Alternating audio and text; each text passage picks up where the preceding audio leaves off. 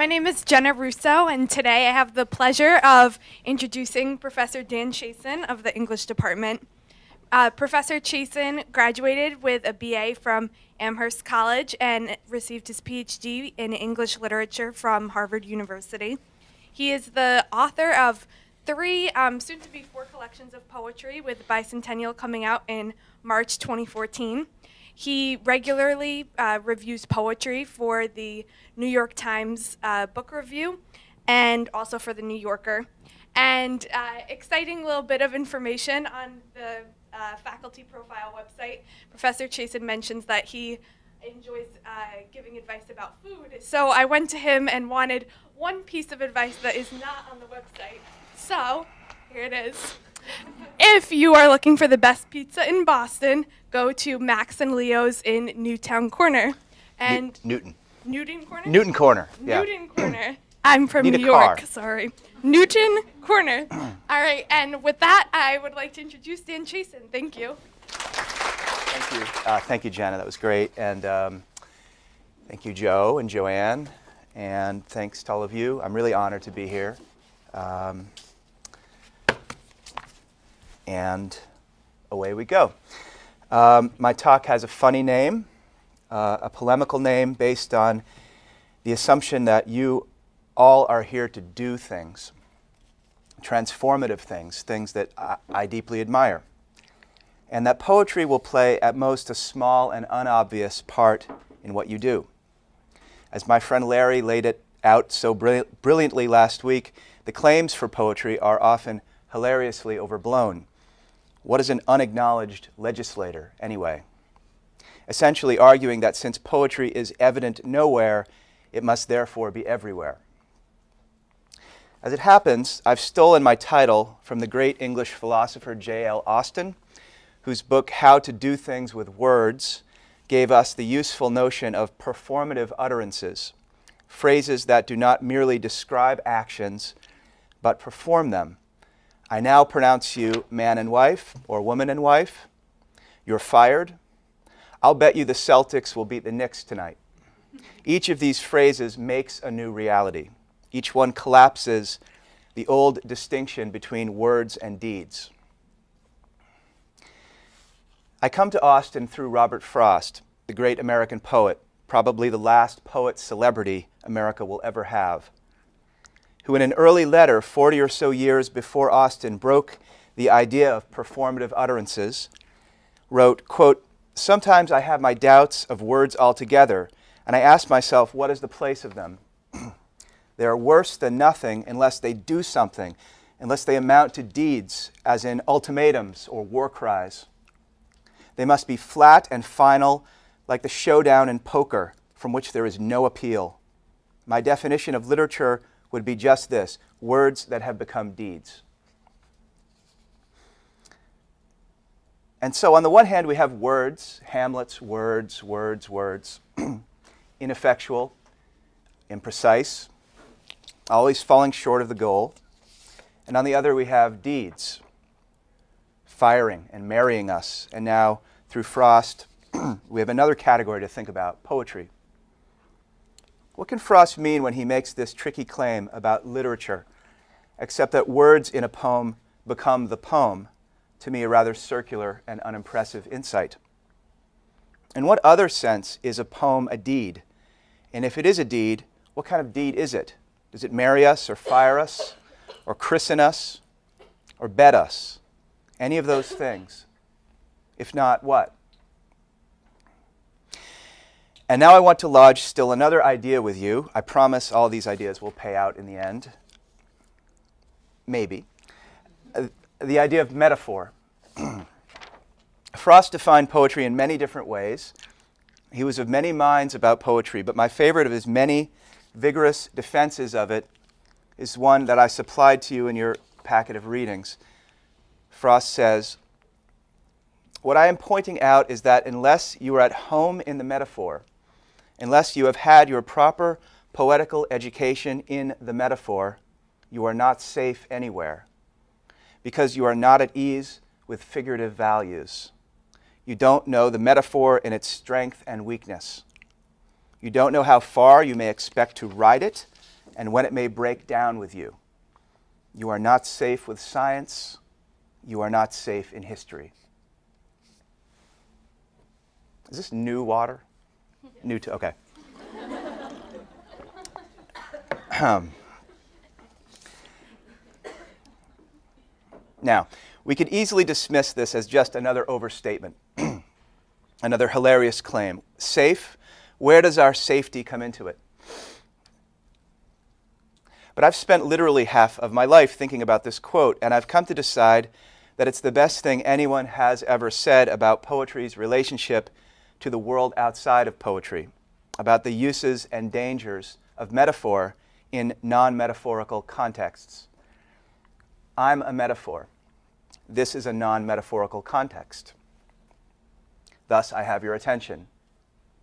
This is the first thing we have to notice that a metaphor holds our attention a little longer, doesn't it, than other features of language, makes us pause, chew on it a little, come to terms. if you had my high school English teacher, you probably heard that metaphors, quote, define one thing in terms of another. All the world's a stage. I am the good shepherd, the iron curtain, deep seated sense of civic obligation to reflect on and share their experiences. Those last ones were taken from the Institute's homepage. but a metaphor is more than just that.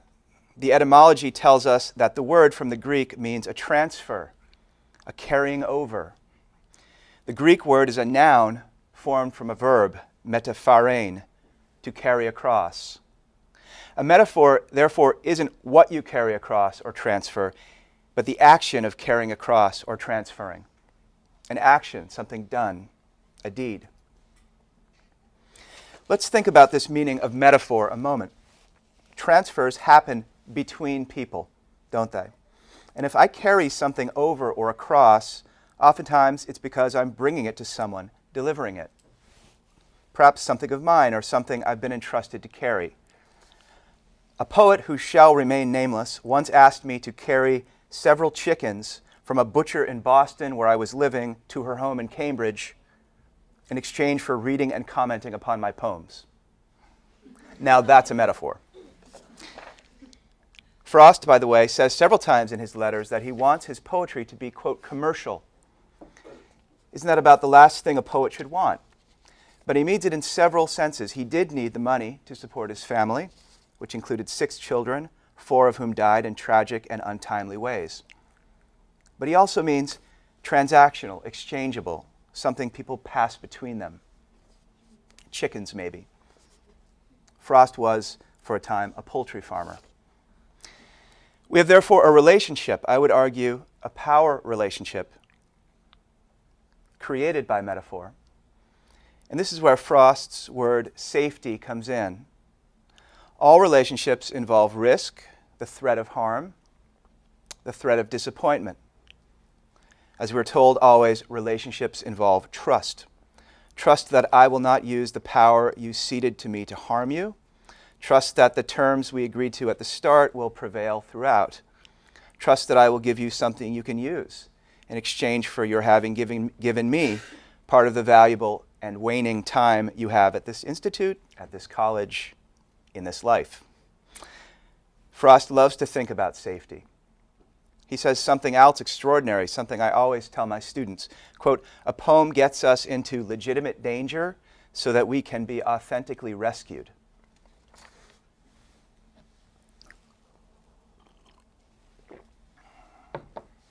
So, if metaphor is a power relationship, I choose the metaphor. It's up to you to understand it. I use the word understand cautiously because the best metaphors have a surplus of the inexplicable in them. Then, obviously, as with any power dynamic, you are at risk. Your safety is at risk. You are in danger. And Frost doesn't just mean in danger of not getting the poem, in danger of not, as we say, getting poetry. What he says is unless you're at ease with, quote, figurative values, you are not safe anywhere not in science, not in history. And the only way you can learn these values is, he thinks, I think, by reading poems. This seems a paradoxical idea. Unless you know how to make things up, you can't tell the truth. If you don't understand figurative values, you may suffer real harm. An iffy idea, a poet's idea, perhaps a poet's wish. But of course, the newspapers are full of metaphors, some of them benign, some provocative, all of them deriving their force from their context and non metaphorical context. A quick scan of the New York Times front page today, which was last week when I wrote this talk, turns up window dressing to describe Iraq's gestures towards the US, union to describe gay marriage in Utah, melting pot to describe Germany. These are all special kinds of metaphors chosen for their familiarity. We're bound to these metaphors by an unspoken compact not to overthink them, to assent immediately to them. They seem chosen intentionally to secure our unthinking assent. But that fact alone should give us pause. when you encounter language that seems designed to evade your consideration, it may be the very language you should pry apart and examine. Certainly, union is a charged metaphor, as old as the Constitution, one of the founding metaphors of the country. In the context of same sex relationships, it's gone from signaling support for them to signaling suspicion of them in a matter of 10 years. Civil unions once seemed a triumph back when my home state of Vermont established them. Now they seem like an illegal withholding of rights from gay citizens. If you think just a little about Iraq and window dressing, or Germany and melting pots, you start to see immediately the kinds of trouble metaphor makes.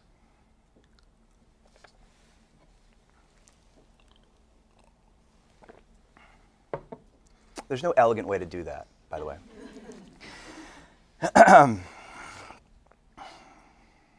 Frost called his talk Frost called his talk education by poetry and he meant it.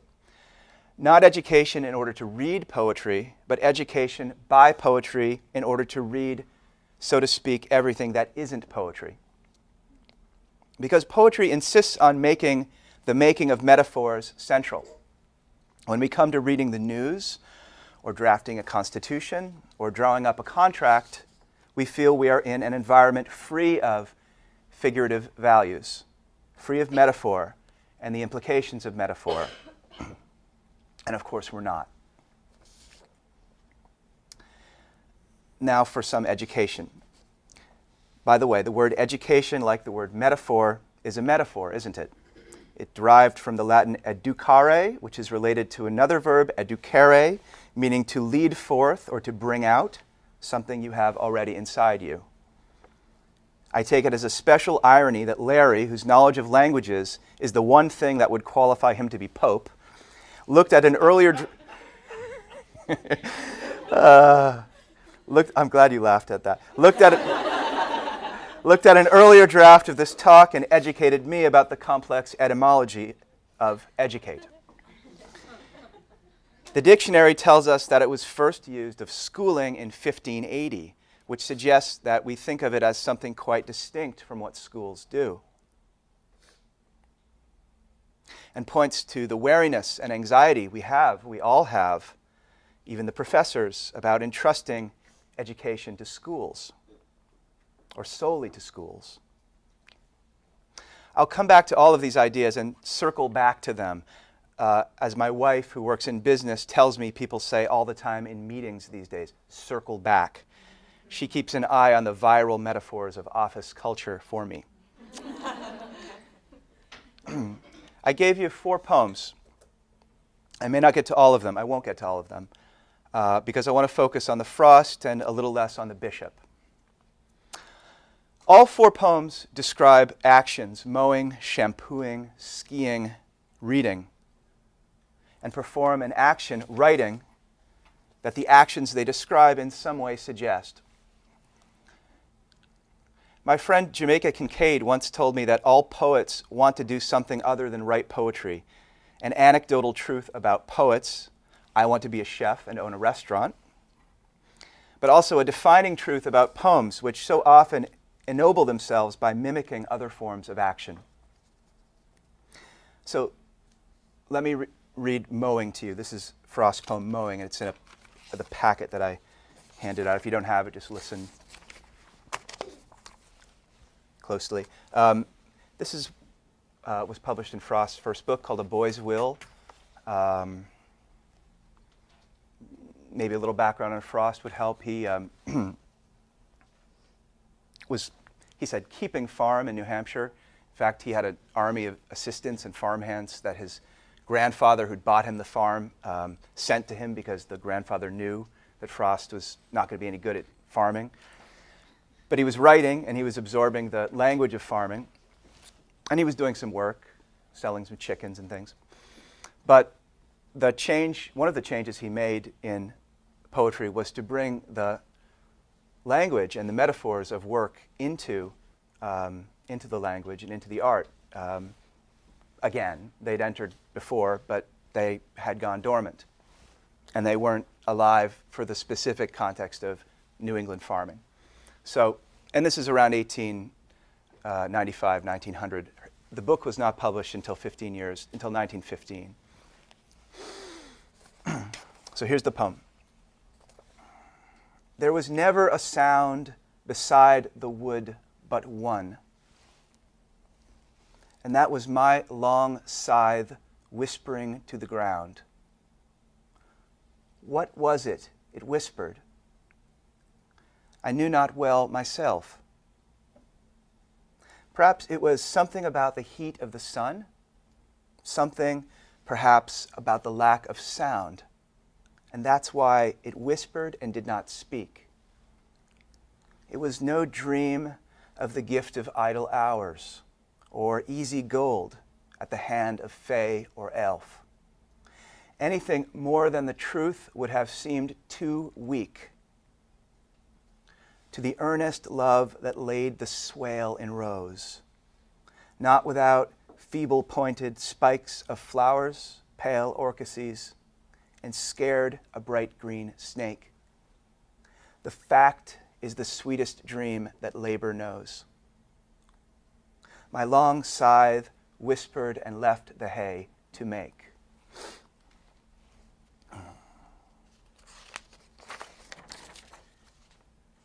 The first thing to say, um, and in some ways the most important thing, is that this is a hard poem.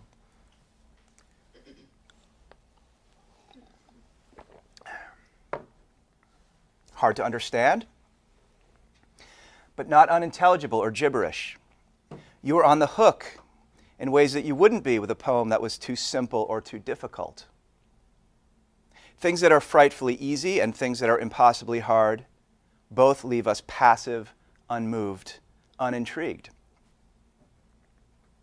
Frost once said that this poem came, quote, so near to what he was after that he, quote, despaired of coming closer.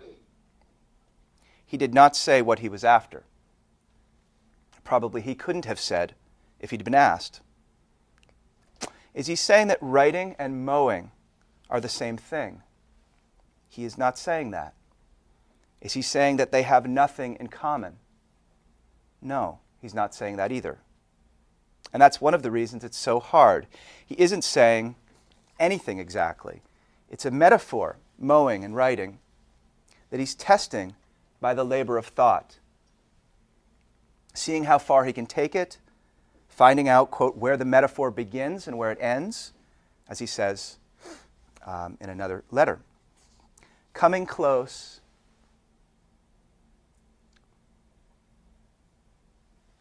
So close he despaired of coming closer is the best he can do. Coming closer is impossible. By the way, one of the senses of understand we discover in its etymology is to come close to. It should be clear by now that etymology is my one move. the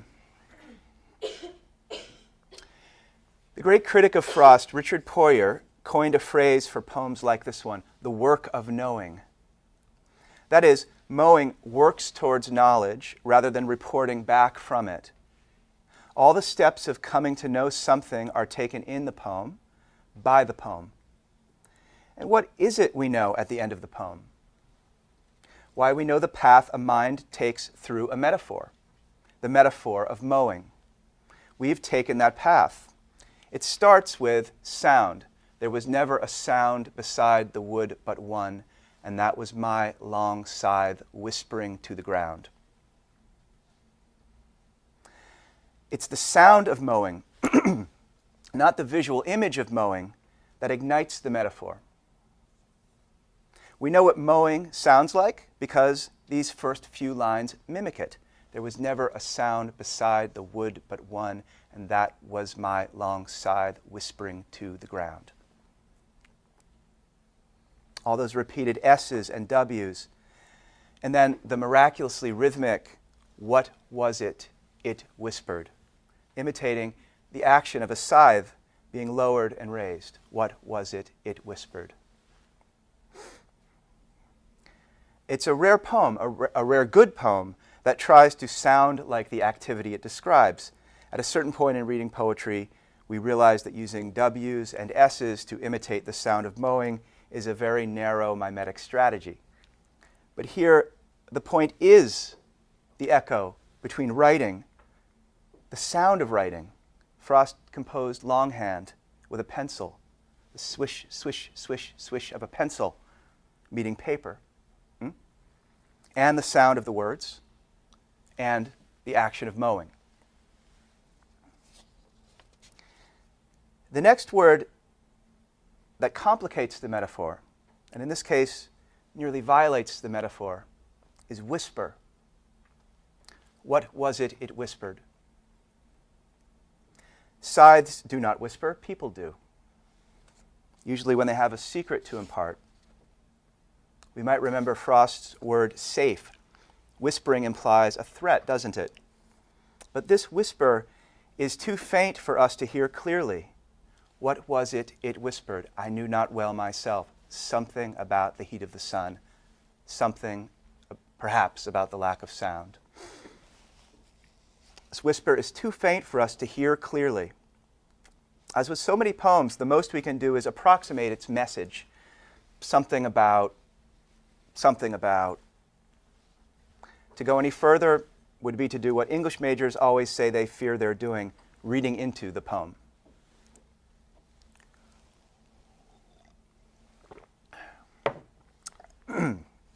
so, the mistaken attribution of a human quality to an inanimate object, whisper, and the inability to make out with any precision what is being whispered, what was it it whispered, I knew not well myself. something, something. These both suggest that this is a poem whose purpose is to explore the limits of the metaphor of mowing, test it, see where, in Frost's words, it breaks down, and show it breaking down. Frost refuses to mythologize the action, mystify it, or exaggerate it in any way he says, quote, anything more than the truth would have seemed too weak. And this truth is gotten not by idle dreaming, one iconic source of poetic inspiration. You go off to your bower or tower and light a candle or whatever and wait for the ideas to come. But this is not that. This is action, mowing, work, labor right? So it's not gotten by idle dreaming, or is it gotten by uh, as a gift from, quote, Fay or elf? I'll just reread the lines. It was no dream of the gift of idle hours, or easy gold at the hand of Fay or elf. Doesn't come from idle dreaming, and it doesn't come as a gift from Fay or elf. Frost's uh, cranky demotion, I think, of the muse, another iconic account of poetry's origin. It's not coming through idleness and it's not coming from some supernatural uh, source. it is labor writing poetry. I suppose this is a good time to tell you that our word verse, more etymology for you, our word verse comes from the Latin vertere, to turn, a verb that originally pertained only to the turn of the plow in the field. Frost's labor here has resulted in rows of verse, just as, just as, his labor in the field results in rows of hay. Frost wrote this poem, just as I wrote this talk, not knowing where it would lead. That has to be how you read the poem, and I am sure how you are hearing this talk. As a matter of fact, the poem ends twice. First with an adage, a kind of weird insertion that splits the rhyming couplet, snake and wake. Just to reread the final lines of the poem. Anything more than the truth would have seemed too weak. To the earnest love that laid the swale in rows, not without feeble pointed spikes of flowers, pale orchises, and scared a bright green snake. The fact is the sweetest dream that labor knows. My long scythe whispered and left the hay to make. So it ends twice. Two end stopped lines, lines ending with a period. Frost knew this adage, the fact is the sweetest dream that labor knows. He knew that would be the line everyone remembered and quoted and so he made it extra difficult. People do not go around saying the fact is the sweetest dream that labor knows, the way they say every dog has his day, for example. The fact, literally the having done, having made, from the verb facio, to do, to make, is the sweetest dream that labor knows. The having made is the sweetest dream that labor knows. There is no, excuse the phrase, takeaway a message Frost delivers in a line set up to be the poem's one takeaway. The product of doing is the having done, of making the having made. As is typical with Frost, the reader has to make a choice between two options, and having chosen the one, wishes she had picked the other. There's a poem by Frost on that theme. The final line seems to suggest that the end result of making is simply more making, whether, to be, whether that be making hay, having sex, as people reportedly do once the workday is over, or making poems. And the two actions, sex and poetry, are for Frost also often connected. And yet, my long scythe whispered and left the hay to make could also imply that the hay, the raw material, having been made, is now capable of making. The way after reading poems, you may become a poet. What's the raw material, the hay of poems? They're readers, of course. Poems transform you and set you up, perhaps, to transform others. But these two senses of to make are in some ways opposed. You have to choose between them. And once you do, you've changed all the preceding choices you made. It is one of many poems in Frost, The Road Not Taken is only the most famous, that remind us that our ends change our beginnings, our destinations alter the path we took getting there.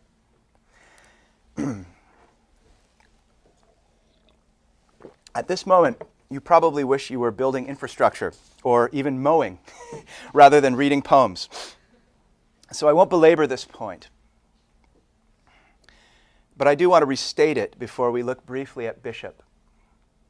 What mowing does is educate us, even as, even as it educates its speaker about, quote, figurative values. Values very strenuously tested by Frost in this poem. It gives us no choice but to be at home in the metaphor. By the way, Frost was never at home anywhere but in the metaphor. The country is littered with frost homes and farms, all places he fled. I notice I'm using the word do a lot now. Remember the title of my talk? My friends, we are beginning to circle back. Bishop, Elizabeth Bishop's wonderful poem, The Shampoo. Um, it's the second poem uh, in the packet if you have it. Also performs an action by describing one. Excuse me. Um, I'll read the poem and then First, I'll tell you a few things about Bishop. Bishop died in 1979. She's a great um, Canadian born American poet. Um, she um, lived much of her life abroad. She was very uh, rootless and restless and never settled down in any one place. Um, her poems have a beautiful sense of sort of just barely withheld uh, terror. Um, and um, she was a, a, lesbian, kind of complexly in the closet, um, not to herself or to her lovers, but to the wider world, and certainly in her poems, um, as, I'll as I'll say, had a, a complex relationship to disclosure and candor about her sexuality. Let me read it. the shampoo. The still explosions on the rocks, the lichens, grow by spreading gray concentric shocks. They have arranged to meet the rings around the moon, although within our memories they have not changed. And since the heavens will attend as long on us, you've been, dear friend, precipitate and pragmatical and look what happens. For time is nothing if not amenable. The shooting stars in your black hair in bright formation are flocking where so straight, so soon. Come, let me wash it in this big tin basin, battered and shiny like the moon. this poem is less of a workout. It belongs in the tradition of poems that seduce rather than mystify. In some ways, it does more than the frost. it's one of the few modern or contemporary poems that could be read at a wedding. it is not about being dumped or being in love with someone who is dead or already married. It was read at my wedding, in fact, by Frank Bidart. It turns on, the poem turns on every party's knowing, but not saying what the metaphor shampoo means. The poem describes a metaphorical action. I, I can shampoo my own hair, thank you, but if someone asks me to shampoo theirs, it means something. They are not just after hygiene. The poem, the poem is about the pleasures, the seductions of metaphor, which have the power even to defeat time. I think this poem is purely and simply about discovering in your much younger lover's hair a streak of gray, those shooting stars in your black hair. Time is nothing if not amenable. It's a tender poem, a beautiful poem, but it too suggests the dangers of not knowing figurative values. Bishop did not feel she could be out in many real places, and certainly not in her poems. But her sexuality is everywhere in her poems.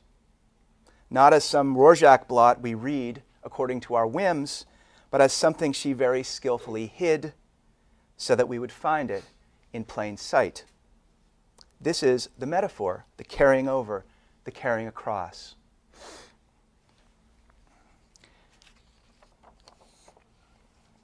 I'm averse to conclusions, so I'll make this one intentionally terse, giving two examples from life and asking you two questions. We can talk about the questions in the question and answer, or we can talk about anything you like. My first example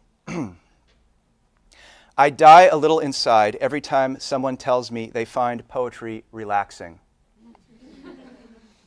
Apparently, some spa in the Berkshires includes an hour of listening to poetry in their weekend getaway package. Why does this bother me so much? That's the question. Second example a roommate of mine in college picked up his final paper on James Joyce's The Dead. In it, he had criticized the main female character, Greta Conroy, for becoming moved to discover in front of her husband that she still carried an old love in her heart. The professor was cantankerous in ways you can only imagine. Here was the comment on the back You have no right to judge Greta Conroy. Your paper makes me question whether you have the moral imagination to live a happy life. F. There are kinder ways of saying it, but the professor was right. Why? Thank you.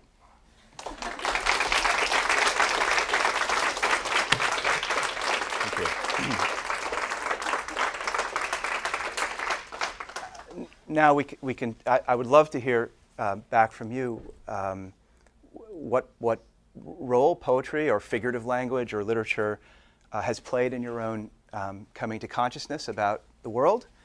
Um, so, so, we could take that route, or we could talk about my little silly little questions at the end, or we can just open it up in however you, whatever direction you want to go.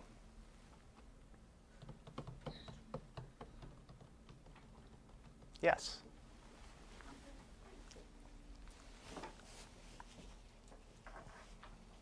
Thank you so much for being with us today. Um, I am part of the cultural infrastructure group, and I was when I was looking through the news for the news briefing, there was an article about how poetry gave voice to a imprisoned Nobel laureate's wife, mm-hmm. and it was just really interesting to me because in our research, we're coming up a lot with this idea of arts and expression mm-hmm. and mm-hmm. we were having a debate the other day about whether there is a whether artists have a social obligation mm-hmm. to use their arts mm-hmm. in a certain way. And i was wondering if you could speak to that a little yeah, bit. that's a wonderful question. Thank you. Um, i think artists have an obligation to ask themselves whether they have a social obligation. Um, and if the if a poem speaks only inside itself, um, it probably doesn't have a full enough vision of the world in all its breadth to be great. Um, there are very different ways of doing that and very different contexts for um, within which one does it.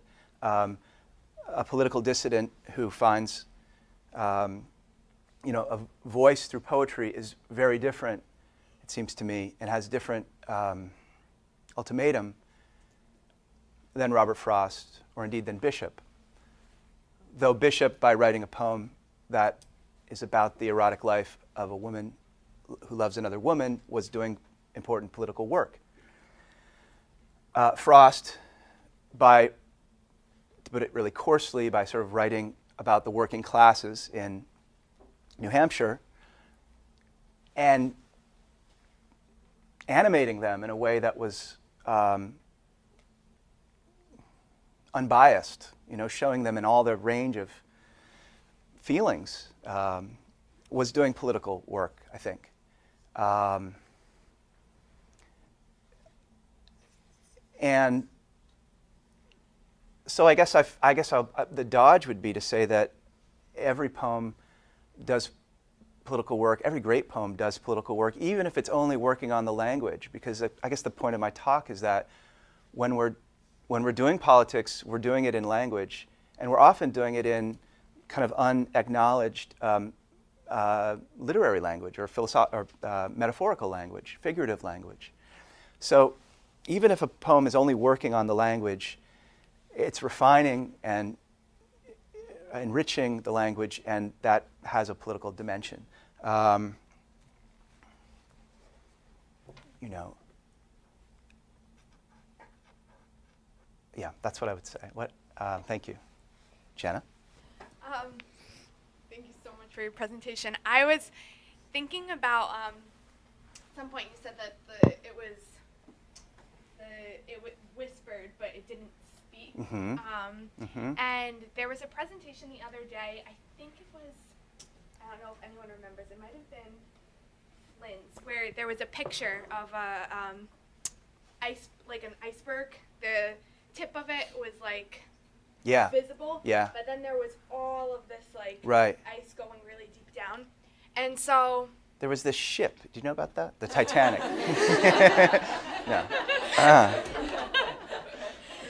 so I was thinking about that in in terms of people that we have there some people's big iceberg that's going down into the water is sorry sorry some people's um, iceberg that's going down into the water might speak a little bit more loudly than Mhm. others Mhm. but the whispers are still there Mhm. um, and sometimes those whispers are in conflict with each other or aren't spoken loudly enough that they get put into everyday conversation, but Mhm. that it's that that might actually make the Mhm. surfaces come together as well. Yeah. Um, and then in regards to your last question, I, I, I was thinking about that in terms of the moral imagination that um, the the woman she might have had the the ice the icebergs going Yes. down into the water Uh-huh. might have been more connected than anyone could see Right. in the surface that made those two people Right. supposed to not be together.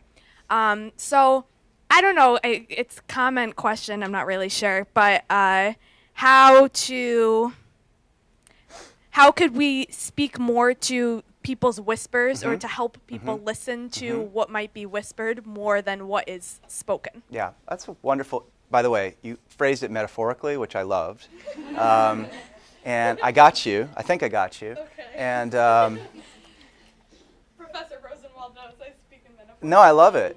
Speaking riddles. No, it's but it's but it's right. It- it, um,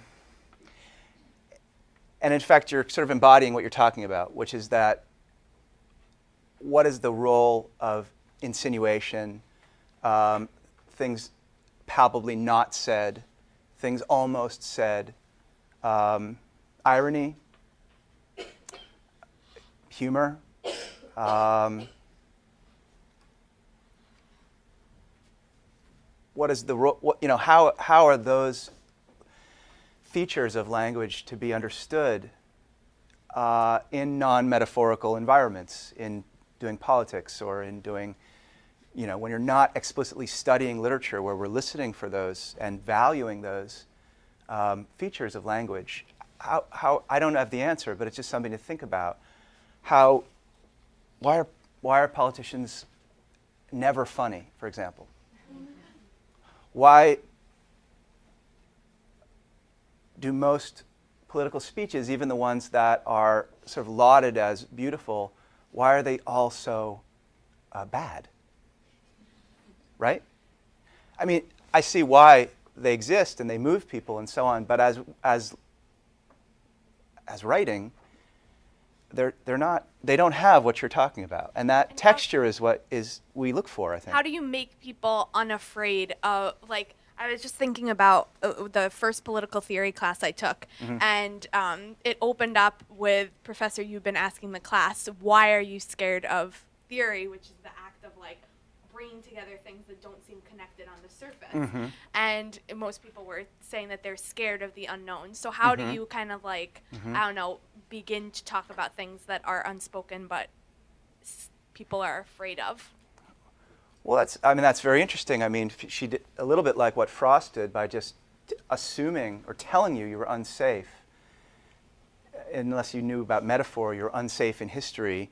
She was just telling you that you're afraid of theory and then asking you to explain why.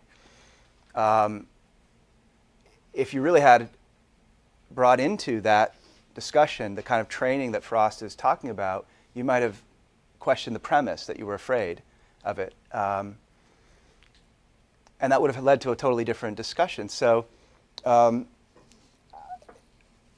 yeah, so it's just this quality of things presenting as um, obvious or, un, you know, just um, a premise that we can all agree to maybe that's the, the very th- thing you want to get under and, and figure out. So, but all, thank you, all fascinating to think about. Um, yes. I, I can't keep track of who's, oh yeah. You probably, you don't, any of you know Phil Donahue. He was this uh, white haired talk show host. He used to leap into the audience, remember? with, the, um, with the, he would sprint around, he had a microphone. But anyway, go ahead. Well, thank you for your talk. Thank you. and Yeah. um, so, two interrelated questions. One is why do you think there's such a lack of emphasis on poetry in the United States in comparison to other countries? And two, do you see any benefit to the practice of memorizing and reciting poems as a child in the education system?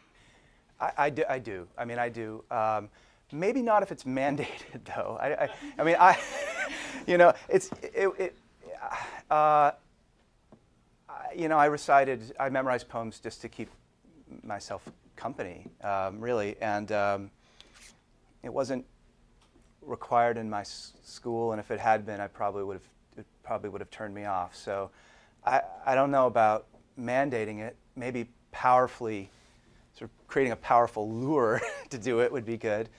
Um, but it, it has innumerable benefits. I mean, it, you know, we all know that the spoken word enriches the written word. You know, that's what Frost is all about. He's going into the field and hearing the way the hands talk about mowing, and he brings it back. But we don't, I don't think it's properly acknowledged, or at least now acknowledged, how much the written word enriches the spoken word. So that when you are memorizing poems, you know, you're bringing the language of whoever it is, Dickinson or Shakespeare or Mandelstam or somebody, up back up into the spoken language. Um, and that is a powerful thing. Um, so, for that reason alone, I think it's important. Um, it's also, you know, this is not strictly within the purview of, of what we're talking about right now, but life is very long. Um, you, if you don't put things in your head that are worth thinking about, then you'll think about stupid things. Uh, honestly, you will. You'll think about status, or you'll think about jealousy, or you'll think about. So I see it as just a, a way of defending myself against having. I do have stupid and petty thoughts, but more than I would, you know, it, it helps me a little to say to say poems in my head. So that's just anyway an aside, but. The other question um, why is poetry not as central to our, school curricula, for example? You know, I mean, the national curriculum, I think, for mandated for or suggested for high schools, I believe had no uh, lyric poems on it. The most, I, someone told me, maybe Larry told me that, or anyway. So, I, you know, I don't, mm, let's think. Well, we're at home with narrative. I mean, we encounter it all the time. You go to a movie, 99.9% of movies are narrative. They tell a story from beginning to end. They have conflicts, they have characters, they have plots. Um, you know, people tell narrative in, people use narrative in all kinds of contexts. Um, we know exactly what to do when we're being told a story. But we don't know, this is Frost, we don't know what to do when we're given a symbol or when we're given uh, a metaphor. And we don't know what to do with language that doesn't resolve into a conclusion, I think. And that's a, you know, that's a shame. Um, that's a shame. Um, I think it is true that, other, that we're one of the worst countries about the United States, one of the worst countries about this. Um, I just have very broad things to say about that. I mean, this is a kind of pragmatic, commercial, sort of undercurrent, undertow to everything this country has done since day one. Um, it's no accident that the American contribution to poetry has always been more or less to bring it back down to to earth, so to speak. Um, you know, Frost always talks. He says he wants his poetry to be commercial. Um, he badly wanted to be uh, to make money, and he did make money from his poems. Um, it, would surprise you, and it would have surprised me before I became a poet, how much poets think about money and, wa- and want to make money from their poems. And you can see in Frost's letters just fussing with these little incidental honoraria, you know, $50, but he's going crazy to get the money. I'm sure he didn't need, I'm sure he didn't need that $50, but it's something about the symbolism of exchange, you know, that, that, that in this culture, that is our symbol for value, unfortunately. So, yeah, I think, um, I think those are some, what, what do you think? I'm, I'd be interested. Yeah, I'd say. I, I would agree with that. I think that we have an extremely Mm-hmm. single track idea of, um, uh, well, culture in this Mhm. country is severely endangered, I think, Yeah. in general, Yeah. because of this profit Mhm, focus. mhm, So I mhm. would agree with what you said.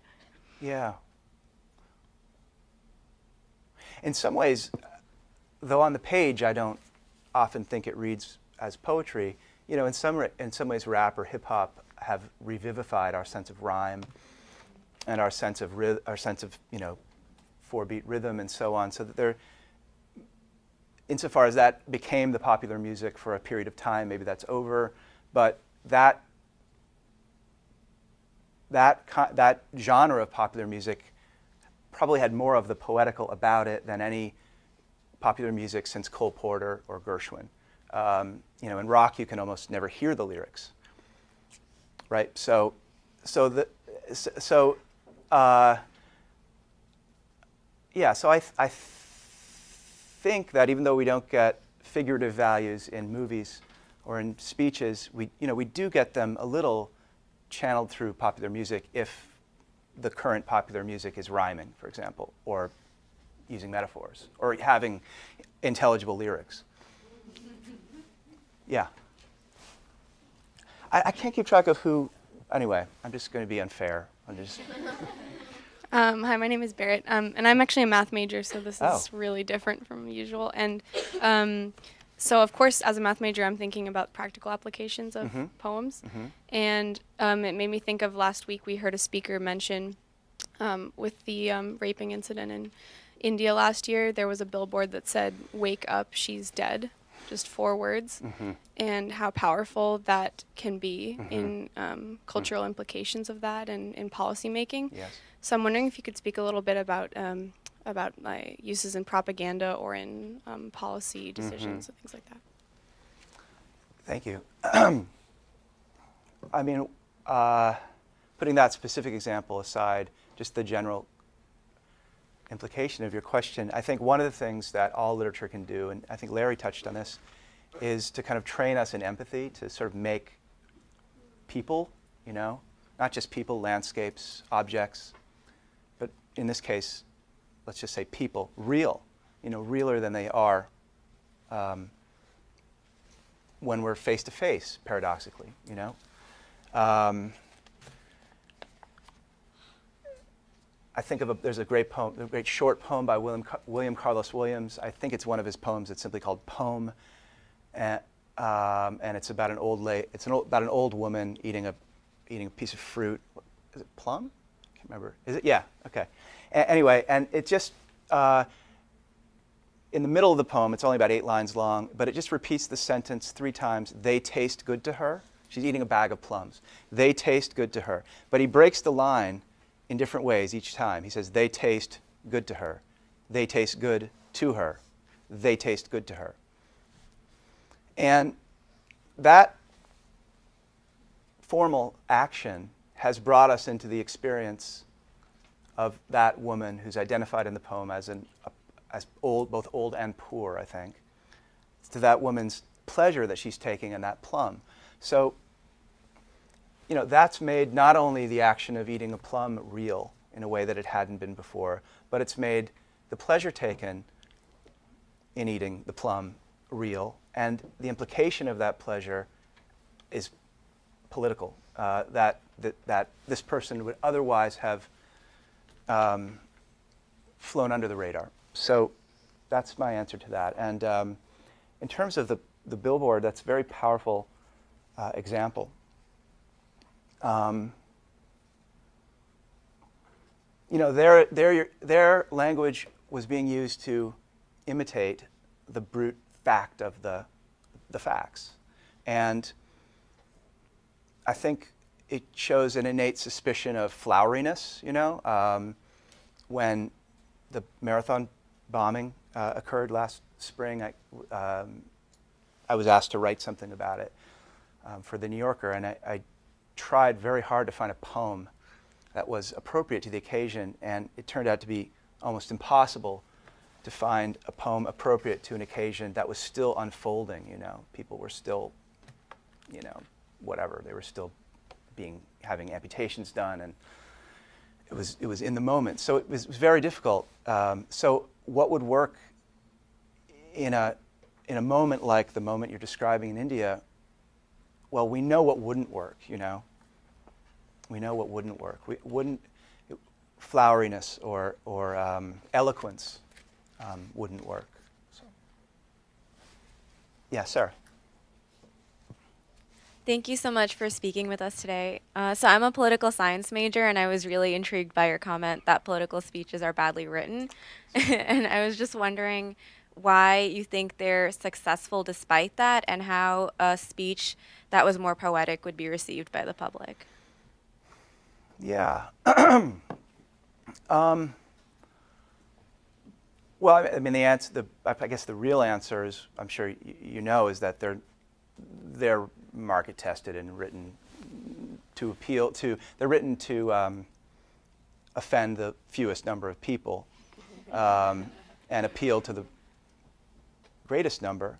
And they're written as part of a sort of chess game. You know, they're written in, re in response to the last speech given by that candidate or by the opposing candidate. So there's a, there's a language game that they're a part of that if suddenly you went in and started speaking in blank verse, you know, uh, uh, or talking about the moon, you, you would be um, refusing to play that game. You know, it'd be like showing up on a tennis court with a baseball bat or something. Um, so for it to change at all, everything would have to change, you see. Uh, not, no, I mean, there are degrees, you know. Um, Barack Obama is a is a great prose writer, I think, and often is a literary is literary in his power as a speaker. Um, but it still falls in the range, you know. It's not showing up on the tennis court with a baseball bat. It's just playing tennis really well and maybe with a little finesse, you know. Um, there was a great tennis player in the 80s, Yannick Noah, whose signature shot was he would overrun a ball and then he would hit the hit the ball between his legs, the racket between his legs. That's maybe Obama, you know, just a little finesse, you know. Um, whereas most politicians are like Pete Sampras, they just play the baseline. Um, so. Ace.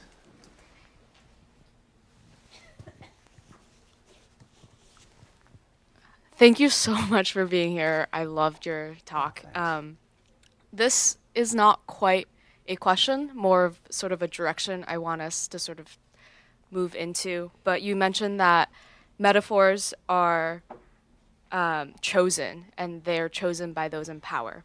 And that got me into thinking about um, throughout history, groups have reclaimed metaphors, yes. they've reclaimed words. Um, you know, for example, the word dyke used to be a very yeah. awful, derogatory word, and yeah. it has now become an empowering word for certain groups of people.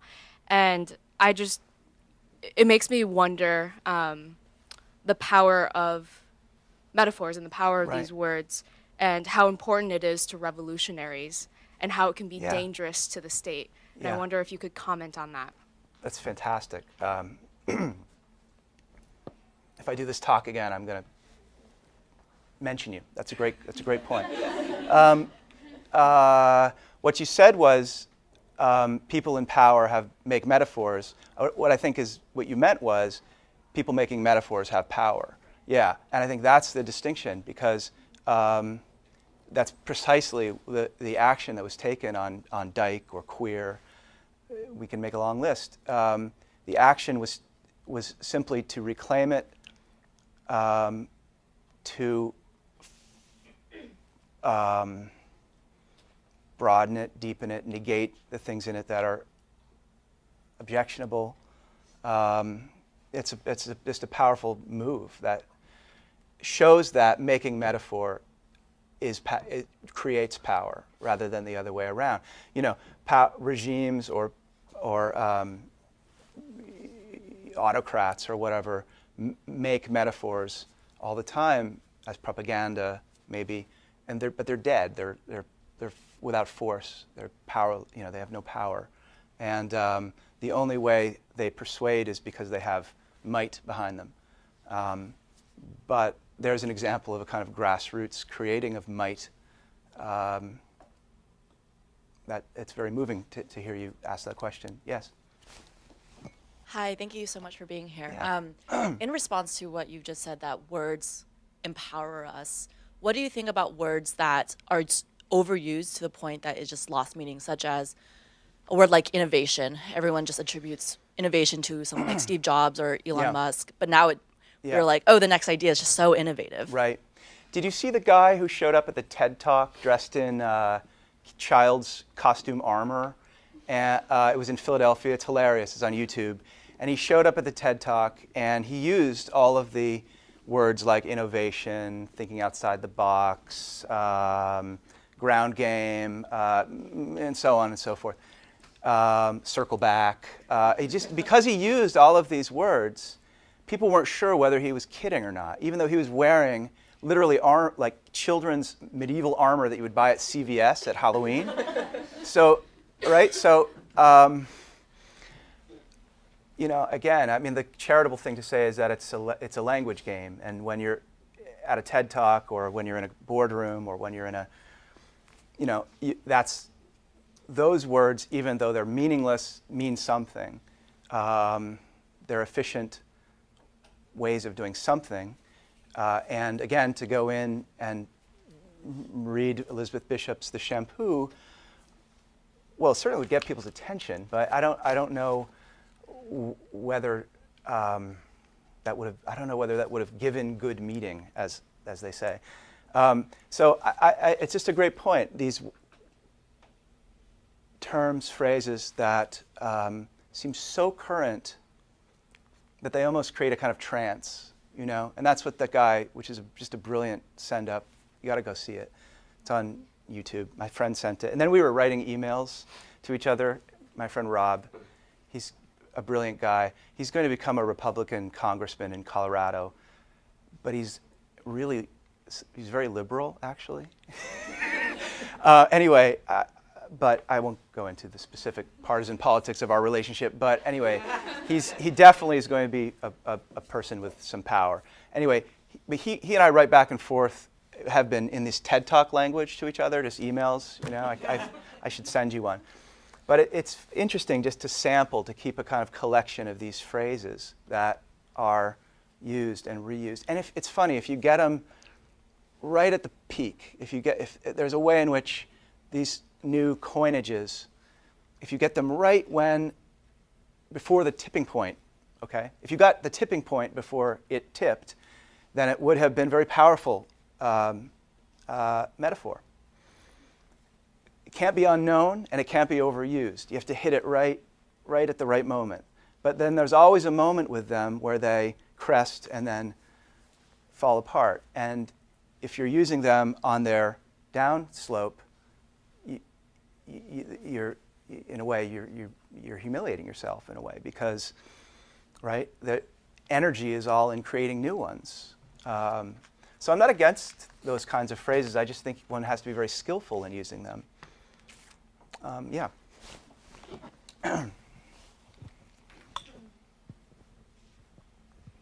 Thank you so much for being here today. Uh, this talk has really challenged me to rethink how I understand poetry. And I'm, I was thinking about the first question that you posed at the beginning of the question and answer session about the spa.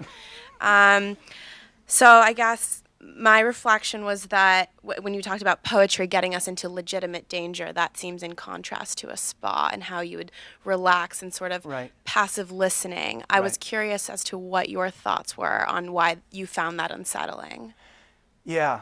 Um, thank you also for bringing up that Frost quote, which is one of my favorites uh, legitimate danger. Um, well, you know, one thing is just that it's, it's a workout. It's strenuous. It's, it's strenuous for the heart and it's strenuous for the mind to read a great poem. Um, not that every poem has to be ultra complex. Uh, the Bishop poem is not complex. It can be read at a wedding, and people in attendance at the wedding will know why it's being read and will be moved by it. Um, mowing, the Frost poem, is very dense and tense and complex. There are other Frost poems uh, that you could go and read. Home Burial, for example, is about um, a man and a woman arguing over um, uh, their child has died. Frost uh, lost a, a three-year-old, uh, his first child, and then he lost a child, in, uh, a girl, an infant girl, and was writing out of that grief. And it's extremely, it's almost unbearably immediate to read. So that's a workout for the heart. Uh, the language is also amazing, but so it's always a kind of workout. It's funny I'm using that word when I'm talking about spas, but yeah. it's. um, um, so that's you know that's one thing, um, and I don't think it should be classified as a form of leisure. You know, um, I'm biased, but I think of it as as rigorous uh, a discipline as something like physics or math and in some ways more rigorous because it's work you do on yourself, not necessarily on the world or on the page. So, it, it I mean, just into basic, just think about the basic formal. Uh, not every poem is in traditional forms, but they all have a complex arrangement, whether it's lines, uh, rhymes, whether it's um, meter, forms of prosody, uh, poems that I never like saying this word aloud, eschew. Poems that eschew prosody or seem to also have to put something in its place. So there's always, uh, there is always a, a rigorous principle of arrangement to a poem. Um, that if it were piped in over the loudspeakers while you're getting your mud mask or whatever, I think you would lo- lose, lose it. But yeah, Rebecca.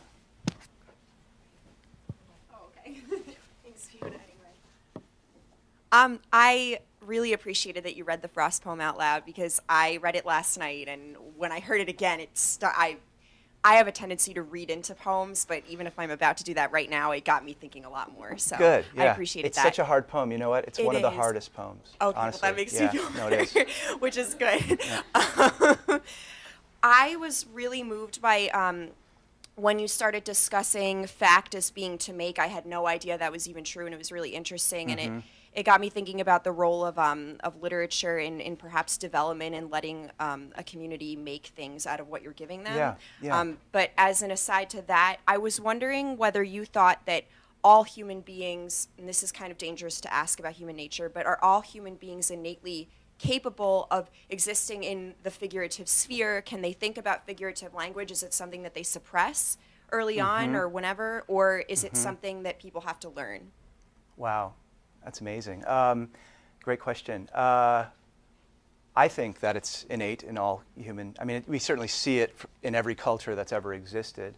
Um, the simple drive, you know, uh, towards mimesis, you know, draw, drawing something on a cave wall or whatever it is, or the um, neuroscientists talk about one of the first um, responses you have when you experience something beautiful, whether it's a song or a painting or is to try to copy it. Um, you know, is to try, and, and, that's just that seems not cultural exactly, but I, I, am getting into deep water by making these distinctions. But it it seems, as we say, hardwired. Um, so I would say yes. And what was the other part of what you said? Um, well, yeah, I guess if you if you, oh, if yeah. you think it's innate, then um, I guess why why is it that some that Uh-huh. so many people, Oh, yeah. I guess especially in this country, have such Mhm. difficulty with thinking figuratively Mhm, if it mhm. is innate? hmm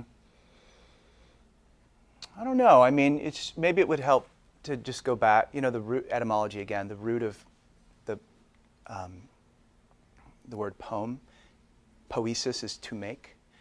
The Greek the Greek word means to make. Um, it had to do with making that was more imaginative. The another word that meant to make was tech was techne, which was just the kind of hands-on work of making. And I think that, but both were necessary, you know, both, and both, I mean, we, Frost in a great letter says, he talks about how he was a misanthrope for years, and he says that he went, um, that his conscious interest in people started as a technical interest in the way they spoke. How about that? And um, technical. So you need. So I think that the um, relationship between tech, tech, techne, which is what you're doing when you're building a country or, you know, putting infrastructure in or whatever it is, the link between techne and poesis is not understood as it should be. And that's an abstract way of putting it. But I think that, and why, why are figurative values? I don't know. I think that actually all the phrases that you pointed to are in fact figurative. So I think that we're at home with, fig- with figurative language. We're just not, um, I don't know, we're not aware of being at home. We're not, we don't, we're not, we're not able to a- both analyze it. We're not able to analyze it in the moment, maybe. Uh, yeah, thank you.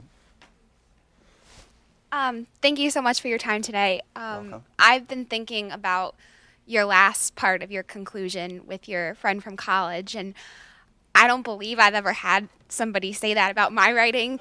But if I did, it would probably make me want to like reevaluate my personality, maybe even. So He did. I was just You wondering. know what else? I just want to interrupt. He framed the comment, and he had it on his wall. Wasn't that great? That's Yeah. that that sounds like something I might do, and so I was just wondering. Well, it's if- reclaiming it, you know? Yeah. Yeah. Um, I was just wondering if maybe you could tell us a little bit more about how Mhm. you would respond to that, like either then or now, what you've been Well, doing. yeah. I mean, the, I, the, the reason I gave that example was because you have to know the story, beautiful story, or you can see the movie. There's a beautiful movie, John Huston's last movie, I think, um, called The Dead. And there, it's, a, it's a Christmas party, and um, there's a singer, a tenor, who sings this song. And the, the character, Gretta, remembers this boy that she loved and who she says she thinks died for her because he was ill and he came to see her in the storm. Anyway, um, the reason I brought up that, even though that's not poetry, the reason I brought up that example is you can't isolate that one moment in the story and judge it, analyze it, whatever, without thinking of it in relationship to all the other moments in the story. So that the, the, when you talk about a metaphor, and Frost says you have to see where it begins and ends and ride it until it breaks down, um, that means having a sense of the whole of a work of art or of a country or of a whatever. Whatever the thing is, either in aesthetic or in social space, having access to the entirety of it before you take any one part of it um, and judge it. So that was, that was what I was thinking. Mainly, I was just trying to shock, shock you all, actually. And maybe uh, incent, that's another word my wife says people use, incent you to read it, uh, the story. It's an amazing story. Um, yeah, Char- Charlotte, Thank you for coming. I really enjoyed listening to you. you're welcome. Um, we do politics and language, but we don't all speak the same language. So what do you do if someone you're trying to communicate Yes. with doesn't understand you? Right, that's a fantastic question. Right, and Frost says that poetry is famous, is, is, what, is, is what is lost in translation. Now, I, this is something I, I grapple with actually because um, you know I don't teach entirely native native speakers of English in, in my classes, and a poem like mowing, and I feel that and poems that are just that difficult are where the good stuff is. You know, um, is difficult even for a native speaker who's been reading it for 25 years. I've probably read it a thousand times. I forget what it, I forget how to move around in it. I have to rediscover it every time. And so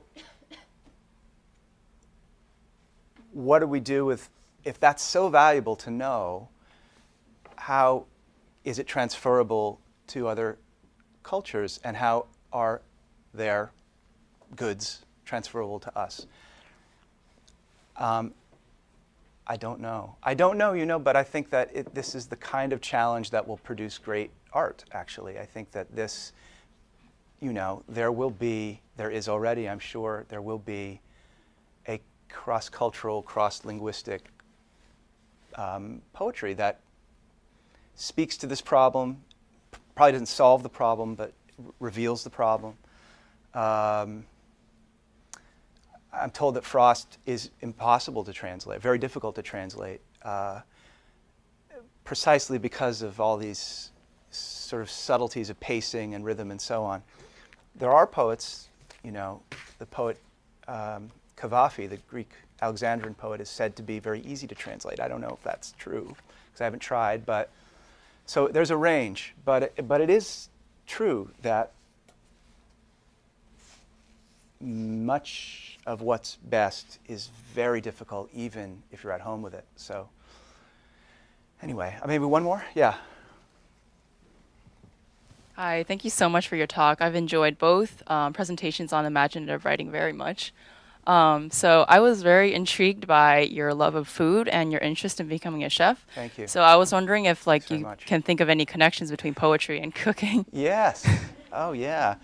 Um, I'll just tell you the connection for me is that poetry, writing poetry, and in some sense, writing about poetry is often work that you don't feel you can finish. The day ends. Uh, my days are very regulated because we have children, so they come home and my imaginative life uh, in one realm slams shut and has to and has to open in another. So, um, so writing poems or writing sentences about poems is often work that you feel you've left unfinished, whereas cooking a meal is a, a kind of ritual of making and finishing. You know, you see, you, you, you go from the raw squashes to the, you know, to the finished product. You put it on the table. People eat it. You see them eating it. Um, they tell you it's good, even though you, as the maker of it, know it isn't. Um, so there's some frustration there, but it is very satisfying. And it's also important that whatever your, it's also important to, to um, cultivate a, a less intense form of whatever your true passion is, you know, whatever your true love is. Um, something you can do without getting wrapped up in the psychodrama of doing it. So that's my answer for, for you. Um, anyway, thank you. This has been so fun. Thank you.